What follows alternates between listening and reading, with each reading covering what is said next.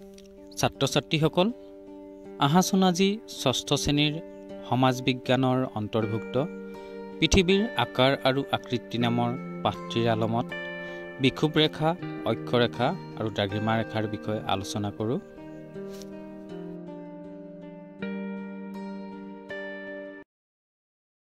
ছাত্ৰ ছাত্ৰীসকল কাষৰ ছবিখন চিনি পাইছা নিশ্চয়।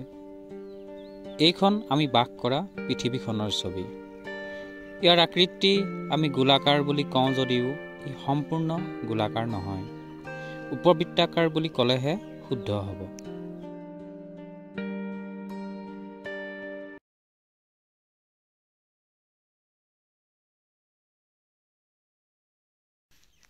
এই উপবৃত্তাকাৰ পৃথিৱীখনৰ উপৰিভাগত সোঁ মাজেৰে পূবা পশ্চিমাকৈ এডাল ৰেখা কল্পনা কৰি লোৱা হৈছে। এই ৰেখাডালক বিষুৱ ৰেখা বুলি কোৱা হয়। এই ৰেখাডালে পৃথিৱীখনক সমানে দুটা ভাগত ভাগ কৰিছে। ইয়াৰ উত্তৰ অংশক উত্তৰ গোলাৰ্ধ আৰু দক্ষিণ অংশক দক্ষিণ গোলাৰ্ধ বোলা হয়। ইয়াৰ পৰা আমি জানিলোঁ যে বিষুৱ হ'ল পৃথিৱীক সমানে দুভাগ কৰা এডাল কাল্পনিক বৃত্তাকাৰ ৰেখা।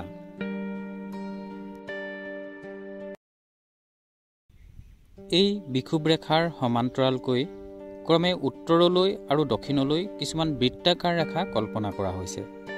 এই ৰেখাবোৰক অক্ষৰেখা বুলি কোৱা হয়।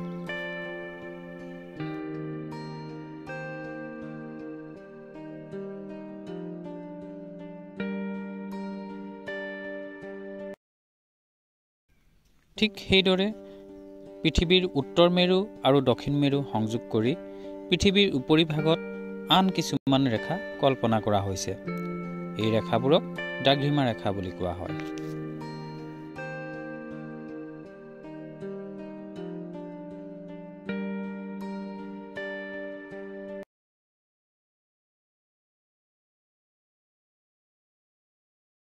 ছাত্ৰ ছাত্ৰীসকল আজি আমি পৃথিৱীৰ আকৃতিৰ লগতে বিষুৱ ৰেখা অক্ষৰেখা আৰু দ্ৰাঘিমা ৰেখাৰ বিষয়ে আলোচনা কৰিলোঁ। ইয়াৰ পৰৱৰ্তী ভিডিঅ'ত আমি অক্ষৰেখা আৰু দ্ৰাঘিমা ৰেখাৰ সহায়ত কেনেদৰে কোনো এখন ঠাইৰ অৱস্থান নিৰ্ণয় কৰিব পাৰি সেই বিষয়ে আলোচনা কৰিম।